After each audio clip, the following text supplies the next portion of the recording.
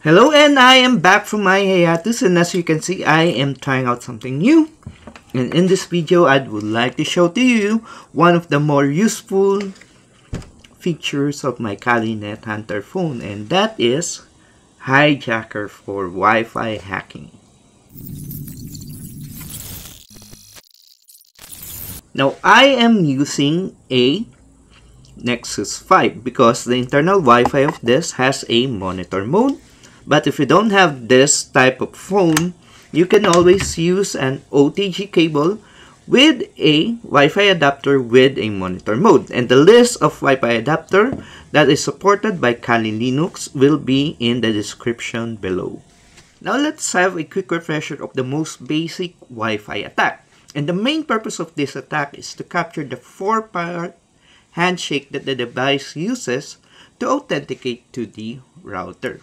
Now, it is done by using your Kali Net Hunter phone and it is sending a de-authentication um, signal to the AP which causes the device to disconnect.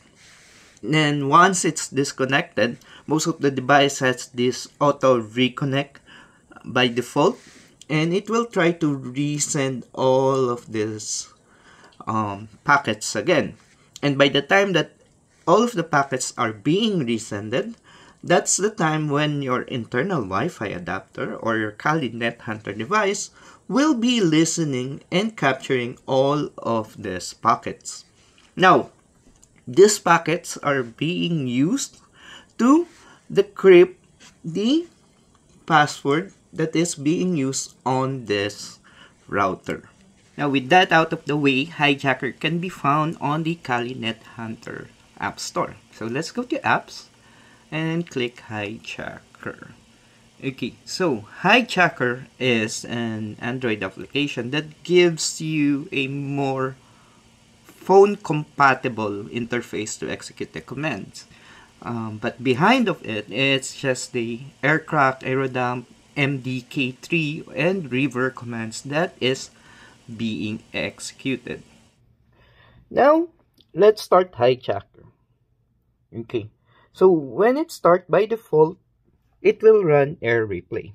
What air replay does is that it lists down all of the Wi-Fi access point that is available, including informations like security used, signal strength, and the devices connected to it.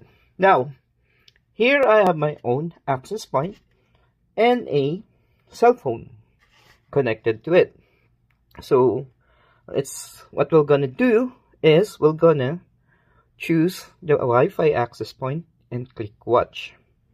Okay, the first thing that we will do is to disconnect the you call it the device.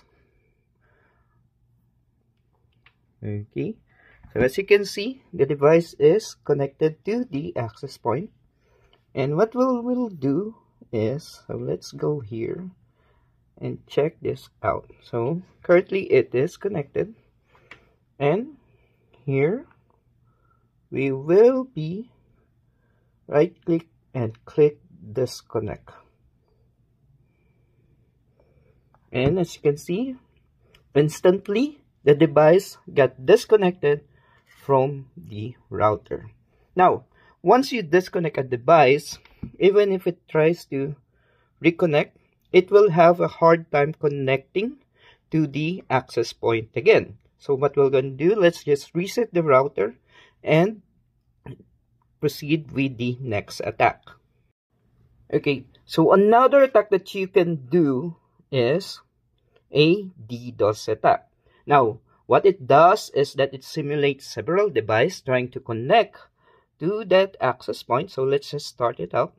And sometimes that is enough to take down the router. And what it means is that any connected router will have a hard time accessing the internet. And if there are any other devices that would try to connect to the access point, it will not be able to do so. Okay, so as you can see, it is still going up. So that we now have 20 devices. Let's just go out and try to go in. So if we click watch there's around 45 devices now trying to connect to it.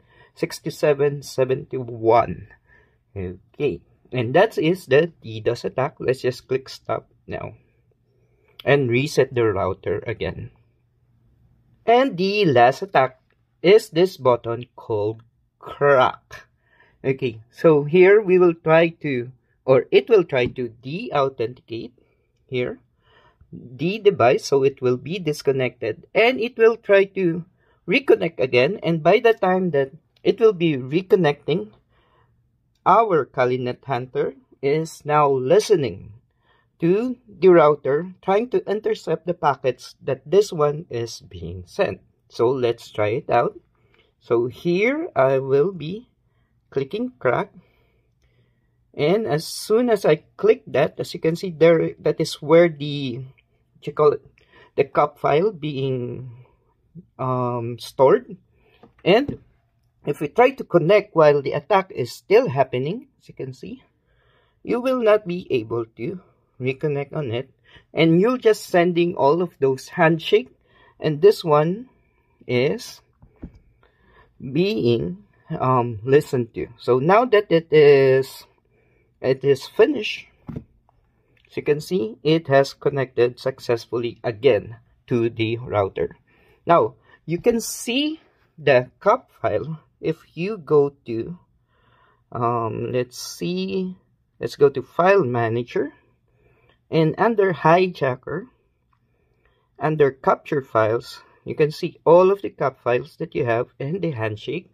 This is the one that you can save on your computer check on check using Wireshark. If you have all of the four um, parts of the handshake and that is the one that you can use uh, on Jack the Ripper to decrypt the password. Now, three important things that you should know. One, the fewer the devices, the less likely that you will be capturing the four parts of the handshake that you needed to decrypt the password. Two, the fastest way to decrypt a password is using a word list. Three, if the password is not on a word list, you will need a powerful computer to brute force the password, which is most of the time not worth it. Now, final note.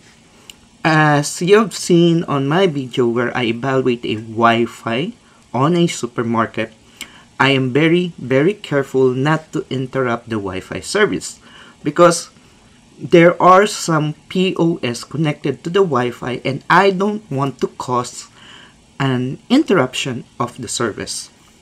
And do not do these hacks or attacks on network that you don't own or you don't have any permission to. And by doing this, it will keep you out of trouble.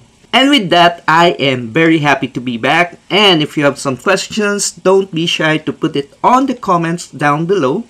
And if you enjoyed this video, please check out my other videos here on Hakista TV. Till next time, my fellow Hackista.